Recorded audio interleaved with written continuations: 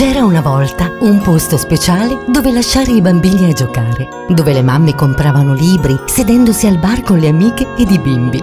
Quando si impara col divertimento, si fanno amicizie e ritorni contento. Per compleanni o qualsiasi occasione, quel posto è qui a Reggio, in via Giorgione.